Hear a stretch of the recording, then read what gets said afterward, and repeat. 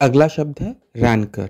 रैनकर होता है विद्वेश की भावना। विद्वेश क्या होता है? विष से भरा द्वेष। विद्वेश कैसे होता है? से लंबे समय तक, किसी छोटी छोटी घटनाओं की वजह से आपके मन में गुस्सा भरता जा रहा है किसी के प्रति। साल हो गए, दो साल हो गए, तीन, कोई आपको सुनाया जा रहा है कि तुम नलायक हो, किसी काम के नहीं हो, तुमसे ज़िंदगी में कुछ नहीं होगा। तुम्हारे जैसे, से तो उसका, वो देखो वो कितना अच्छा है, वो देखो तुमसे अच्छा है, तुम तो धरती पे बोझ हो, ऐसा सुनाया जा रहा है और धीरे धीरे धीरे धीरे आपके अंदर गुस्सा बढ़ता जा रहा है, गुस्सा बढ़ता जा रहा है, बढ़ता जा रहा है। इतना भर गया कि आप सोचते हो, जिस दिन मौका मिलेगा इसका मुँह तोड़ दूँगा, इसको दिखा दूँगा, बता दूँगा, बहुत बोलता है। तो ये जो उस एंगर में आप जी रहे हो, ये जो फीलिंग है, इसे रैनकर कहते हैं। थोड़ी अजीब फीलिंग है ना, पर होती है किसी किसी के प्रति हो जाती है ऐसी फीलिंग तो याद रहेगा कि रैंकर किसे कहते हैं? विष से भरा द्वेष या विद्वेश ठीक है? विद्वेश की भावना। चलिए इसका एक सेंटेंस देखते हैं। The rancour between Kauravas and Pandavas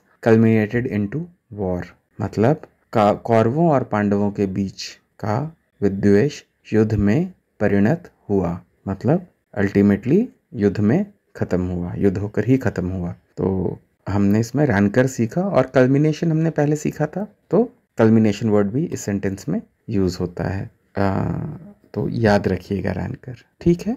धन्यवाद।